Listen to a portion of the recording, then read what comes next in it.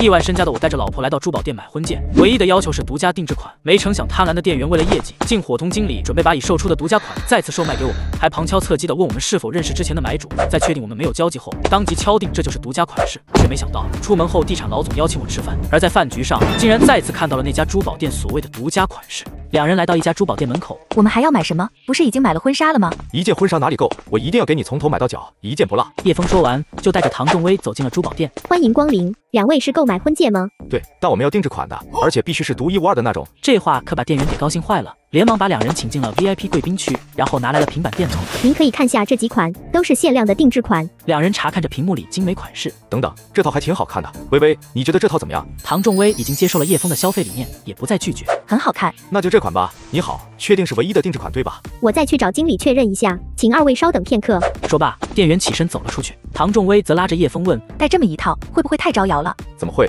你这么漂亮。正需要有点档次的东西去衬托，有什么招摇的？所谓的招摇，更多的是不自信。另一边的店员出来就找到了经理，却是一脸苦笑，真是倒霉。里面那对客人偏偏选了刘太太订的这套，这怎么办？他说的刘太太是店里的老客户，每年都会在他们店买一两百万的珠宝，是不能得罪的大客户。上百万的大单也不是常有的。这样，我找别的店调配一下资源，同时做两套出来，一套给刘太太，一套给他们。店员一脸为难的道：啊，这样不行吧？他们特意让我来问，是不是确定独一无二的限量款？显然是不希望别人也拥有。你怕什么？你。一会过去套套话，问问他们和刘太太认不认识，包括刘太太的丈夫。如果他们互相认识，这事就算了；如果不认识，以后未必能见着面。我们把东西卖出去，他们又不知道谁有谁没有。店员仍然有些犹豫，他看得出叶枫对是否是独一无二十分的看重，怕以后万一被拆穿了，会引来麻烦。这不太好吧？你怎么这么磨叽？这个单子如果签成了，可是最少十万的提成呢。你如果不想要，那给别人算了。见经理说要把单子给别人，店员顿时急了。我没说不要啊，那我先过去问问他们和刘太太一家是否有交集。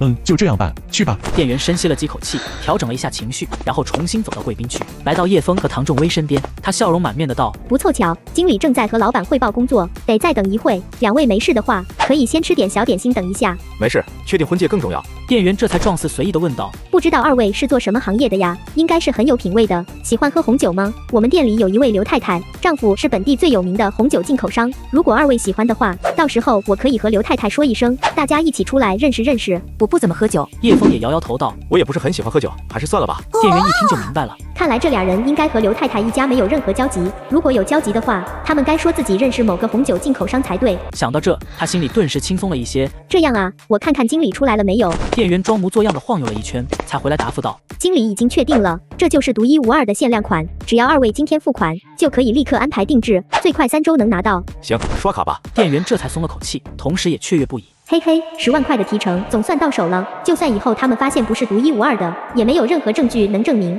而且有经理在前面扛着，我也没什么好担心的。签完单之后，经理才和店员一起把叶枫夫妻俩送走。这次做的不错，回头我和老板请示，多给你一个点的提成。店员听得欣喜不已，谢谢经理了。不过记住了，今天这事你知我知，不能有第三个人知道，明白吗？我当然知道，怎么可能告诉别人？叶枫离开珠宝店后，就接到了葛清泉的电话。叶先生，我这边有几个朋友都想和你认识一下，不知道有没有空一块吃个午饭？我等下要去趟花店，可能得稍微晚一会。不着急，我们等你就是了。不过你需要买花的话，我这里刚好有个老伙计，是荣城最大的鲜花批发商，你直接来和他说就行。哦，那行，我现在过来。挂掉电话，叶枫直接朝着葛清泉说的酒店驶去。而此刻，葛清泉与其他几人已早早等候在那里。见叶枫和唐仲威进来，葛清泉连忙站起来，让出了主位。叶先生来了，还有弟妹，来来来，这边坐。叶枫却没有坐他的位置，拉着唐仲威坐在了靠右侧的位置。此时，一个叫蒋新元的男人忽然开了口：“对了，叶先生不是要买花吗？刚好我就是做花草生意的，虽然小打小闹，但荣成大多数高档花店的货。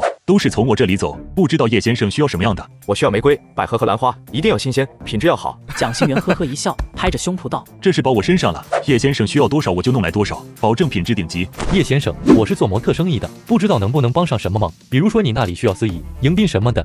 老姚的模特质量都很高，还出过几个国际超模，在国内也算响当当的经纪公司了。如果叶先生有这方面的需求，找他最为妥当。叶峰想了下道：“如果是姚先生提供的司仪和迎宾，那倒不错。那模特的事情就拜托姚先生了，和蒋先生一样，事后一起结算。”见其他两人都各自。自找到了要做的事情，刘三千也不甘示弱道：“叶先生，我是做红酒进口生意的，您到时候需要用什么酒，提前跟我说，保证货真价实。钱的事情都好说，我也不赚你什么钱，给个成本价就行。”老刘的红酒进口生意还是相当红火的，他家进口的那几款味道还真不错，价格也不是很贵，两三千一瓶。那是不贵。行，我回头想想要哪款酒，到时候和刘先生说。刘三千满意的笑了起来，同时不动声色的在桌子下点了点老婆的腿。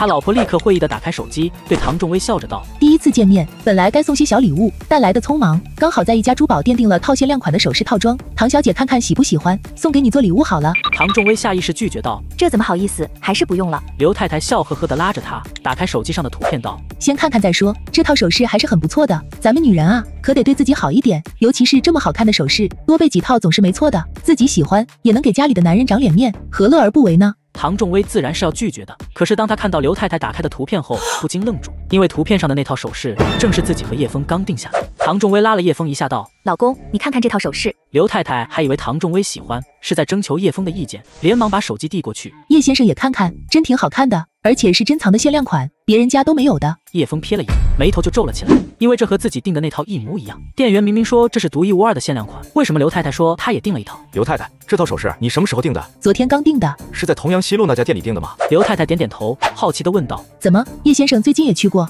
叶枫淡淡的道：“我们来之前刚从那家店出来，很不巧的是，我们也订了一套这样的首饰。店员说是独一无二的孤品，没想到刘太太也有。看样子，要么我们进的不是一家店，要么我们是被骗了。”刘太太一脸惊愕，随即脸色愈发难看起来。要知道，她可是那家店的老顾客，他们竟然连自己都骗。刘太太当即起身就要去找那家店的麻烦，葛清泉赶紧拦住了她：“你被骗了，叶先生也被骗了，事情当然不能就这样算了。等吃完饭，我们一起去，不给个交代，我让他们一件东西都卖不出去。”葛清泉发了话，刘太太才暂时忍了下来。几人吃完了饭，纷纷开车朝着珠宝店去，尤其是刘三千，直接把加长版迈巴赫挡在了门口。谁那么不长眼，停车都不会停啊！